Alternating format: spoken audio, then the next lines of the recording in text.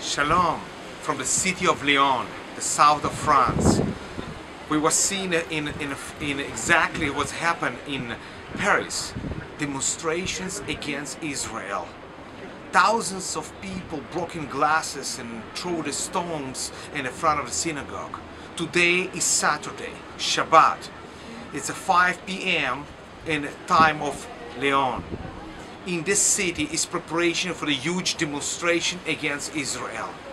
And my heart desire is exactly before Motzei Shabbat, after Shabbat, is they going to stay showing to they hate Israel and they showing to the pro-Palestinian authority.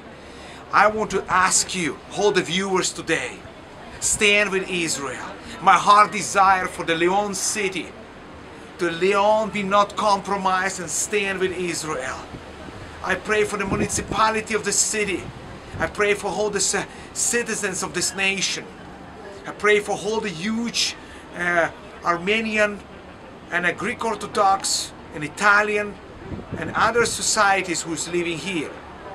They, Father Lord, touch the hearts right now in the name of Yeshua, the Messiah, Jesus Christ. I pray, Father Lord, for protection against demonstration, against this anti-Semitism. And Father, we pray for cover this nation with your precious holy blood.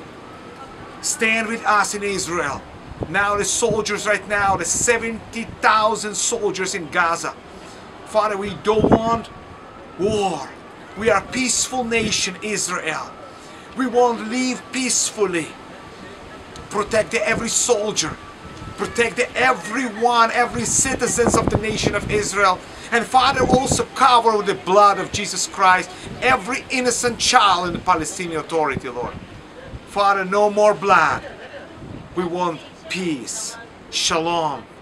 Shalom of Yeshua the Messiah. God bless you from Lyon, France.